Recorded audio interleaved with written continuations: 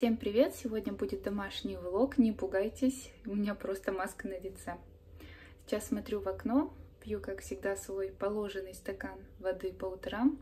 Такая погода замечательная, солнышко светит.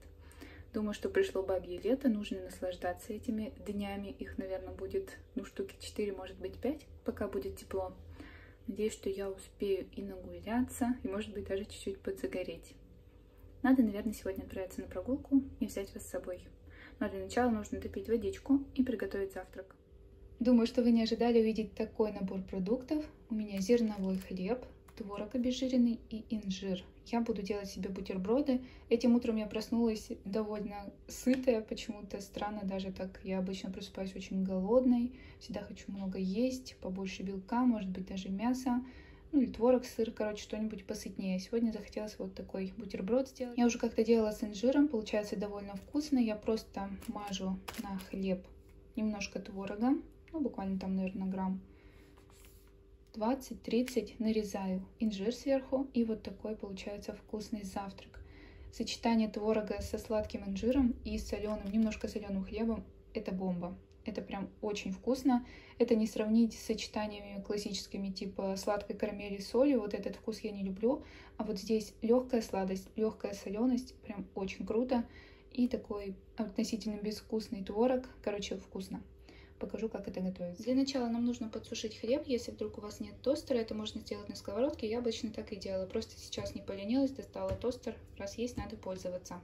Немножко нужно подсушить хлеб, может даже чуть-чуть с корочкой поджарить, чтобы он хрустел. Очень хрустящий хлеб получается. Теперь намажу чуть-чуть творогом и порежу инжир. Выложу сверху. Но для начала пойду смою маску, потому что пришло время. А если намазать творогом сейчас и оставить, то хлеб быстро перестанет быть хрустящим, а я хочу, чтобы он хрустел. Ну что ж, мой бутерброд готов. Выглядит очень необычно, но поверьте, это действительно вкусно. Теперь осталось подогреть чай, забыла я его поставить, и можно завтракать.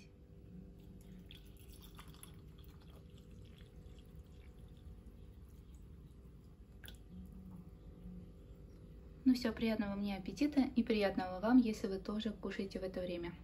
На улице так тепло, что я даже решилась уйти в юбке, хоть и в длинной, но в юбке. Сейчас я ходила забирать свой заказ. Тут у меня немножко косметики. Ну, домой приду, распакую. Так, совсем чуть-чуть, но думаю, будет интересно. Итак, распаковываем, что же я себе заказала. Это из совместной покупки. У нас в городе есть много совместных покупок, где можно подешевле купить косметику. Например, взяла несколько масок. Особенно взяла вот эту. Она пузырьковая. Надеюсь, что понравится. На эту маску слышала очень много отзывов. Говорят, именно маски из йогурта хорошо увлажняют лицо. Взяла. Вот это очень интересная масочка. Не знаю, сработает или не сработает. Но попробовать стоит. Вдруг подтянется у меня там что-то. Еще вот такую маску с ромашкой. Тут прям очень много жидкости. Так, все они стоили рублей по 30-40. Это очень недорого, я считаю. Дальше. Не так давно, хотя нет, давно, Пробовала небольшие такие пирамидки скраба от этой фирмы, тоже с содой. Мне понравилось, что так хорошо очищает, но для меня текстура была грубоватая. Я увидела, что есть еще от этой же фирмы, тоже с содой, э, умывалка. То есть это пенка для умывания. Надеюсь, что она будет более нежная по текстуре. Отзывы на нее прям офигенные, хорошо очищает. Особенно сильно загрязненную кожу, ну типа если пользуетесь каким-нибудь сильным кремом с SPF 50, я им пользуюсь каждый Он день. довольно плохо смывается, надеюсь, вот эта умывалка мне поможет. Стоило 130. Дальше, еще тоже кучу отзывов слышала. Короче, вы поняли, да, я на отзывы ведусь. Я сначала слушаю, когда попробую другие, потом решаю, стоит мне это покупать или нет. Так вот, на этот бальзам, ну или крем, крем-бальзам, слышала тоже много-много отзывов хороших. Увлажняет хорошо, причем это Бальзам не только для губ, можно мазать и руки, и пятки, и локти. Короче, это супер увлажняющий бальзам. Я уже его попробовала, помазала руки. Он прям очень жирный, прям очень жирный, но так хорошо увлажняет, мне понравилось. Сейчас осенью прям актуально кремушки пожирнее, чтобы прям ничего не сохло. А руки сохнут нещадно.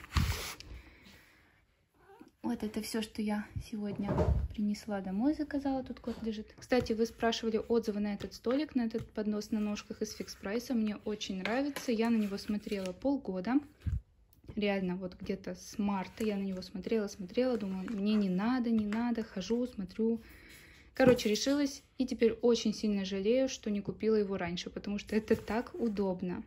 Я по вечерам здесь ужинаю, сажусь, ставлю сюда телефон, смотрю что-нибудь на нем. Здесь ем. Артем иногда тут работает за ноутбуком, тоже очень удобно. Короче, вещь стоящая, стоит всего 199 рублей. Подобные в Икее стоят дороже. Короче, девочки, берите. Есть там несколько расцветок, по-моему, серые и черные, и вот беленькие. И, кстати, на этой неделе я решилась на небольшое изменение внешности, постригла челку, и я в полном восторге. Мне очень нравится.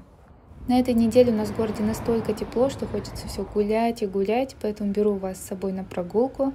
Сейчас мы с вами находимся в парке Горького. Это парк аттракционов, ну тут можно еще погулять. И, кстати, у нас есть свой кошкин дом. Кто вспомнил мультфильм, поднимайте руки. Поднялась на самый верх, чтобы вам показать обзор, что же тут видно. Вот и колесо наше, Новый аттракцион открылся буквально, по-моему, год назад. Я на нем каталась. Выглядит страшно, но наверху не так. Если повернуть немножечко в сторону из парка, можно найти вот такой красивый дворик. Неплохое место, например, для проведения фотосессий, очень много граффити, вообще тут атмосферно. Довольно часто летом тут проходят различные концерты, чтения, короче, душевные вечера. И посмотрите, у нас осень просто золотая. Хожу по улицам и испытываю невероятное удовольствие. Обожаю золотую осень. По-моему, это одно из самых любимых времен года. Солнышко очень ласковое. Ну скажите, вы же тоже наслаждаетесь такой погодой? Я знаю, что во многих городах сейчас очень жарко, даже выше 20-25, но вот у нас плюс 17-18, и я просто кайфую. У нас, кстати, вот есть небольшая такая ротонда, Самое популярное место среди молодоженов у нас в городе. Тут проводят фотосессии. Но лично мне нравится вид отсюда. Здесь наш пруд как на ладони, видно набережную, часть города. Кстати, многие мои зрители спрашивают, что это за река. Это пруд, у нас огромный пруд. Я спустилась на набережную, решила вам показать другой ракурс. Набережная у нас очень длинная, ну и пруд не маленький.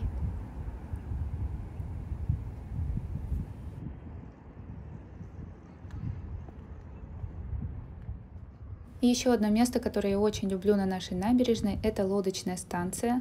Тут можно на прокат взять лодку, катамаран. Можно взять, например, на полчаса, покататься, просекать воду. Ну или можно даже на час. И посмотрите, какой вид открывается.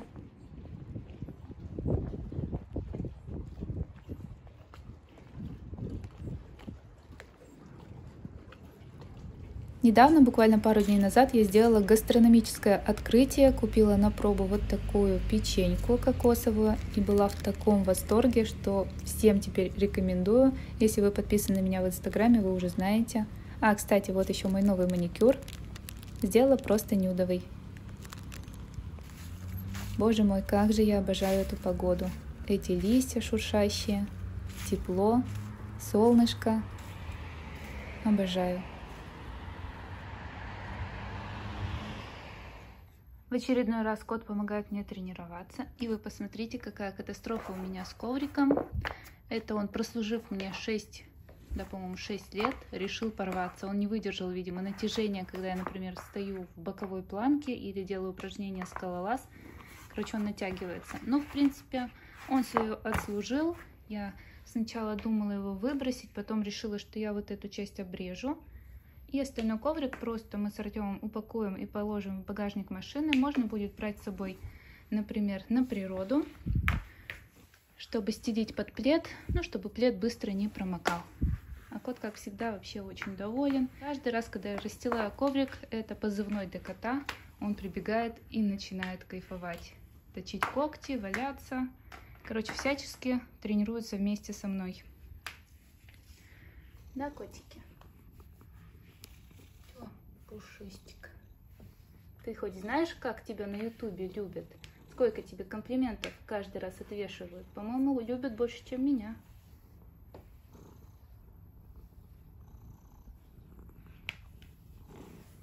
Ладно, ладно, не буду мешать. Валяйся. Но скоро ты уйдешь, когда я начну тренироваться.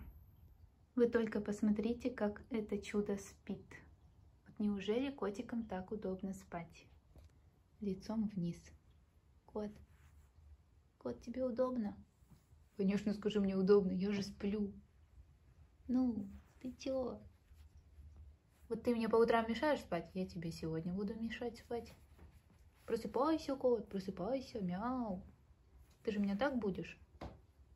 Он даже глаза не открывает. А вот когда ты по утрам орешь, я так не могу, мне приходится вставать и кормить тебя. Ему вообще пофигу. Ну ладно, пусть спит.